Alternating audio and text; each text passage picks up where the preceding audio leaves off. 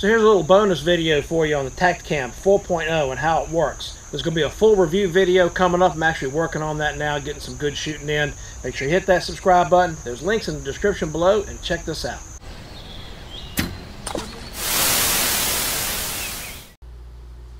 So this is the Tactacam 4.0.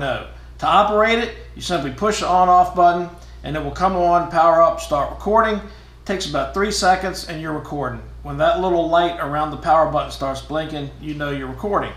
The color of the mode button tells you what mode you're in. It'll default to whatever mode you were in last when you powered it off. Right now it's in the 2.7K mode, which is great for low light. To change modes, you pause it by pressing the power button. Press the mode button to make that button change colors.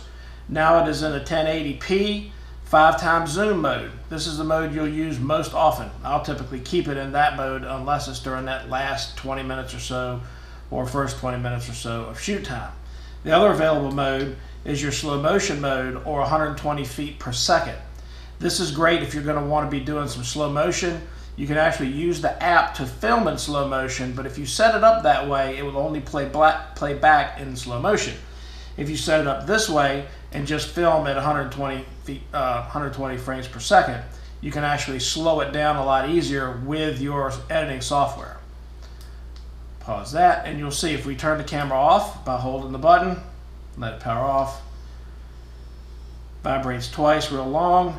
When you turn it back on, it will default right back to where you left it last.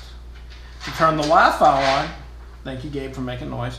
To turn the Wi-Fi on, you pause the camera, pause, hold the mode button, and you'll see the Wi-Fi light come on. Now you can connect that to your phone or iPad and then activate the Tactacam app and run through everything, including reviewing your footage uh, from your phone. Very simple, very nice.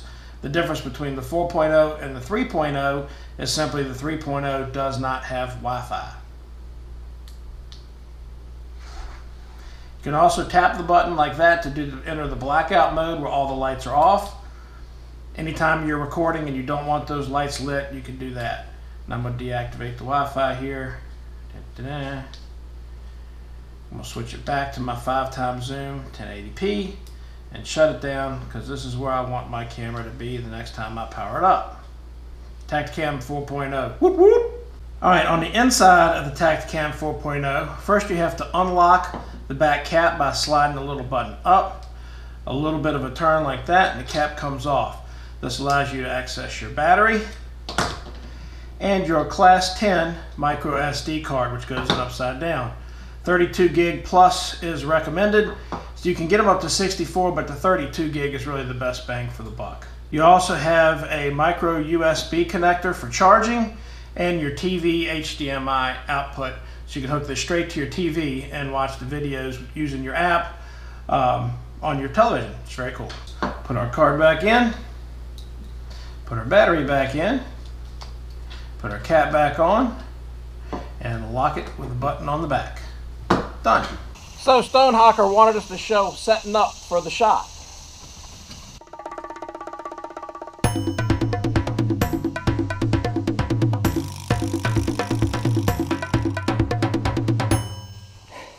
As part of my shot setup, I have the Tactacam with the underscope mount mounted on my Parker Thunderhawk, actually Tomahawk before they changed the name, Thunderhawk crossbow.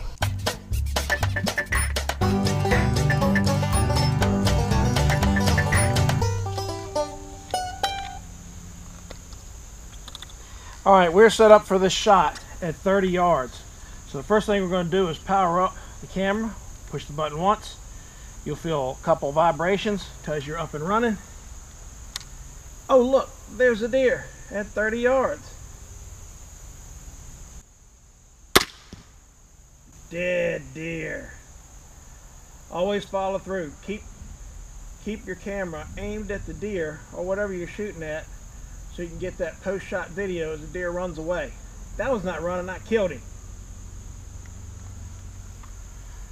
Touch it once to pause it, or touch it and hold it to shut it off. Boom!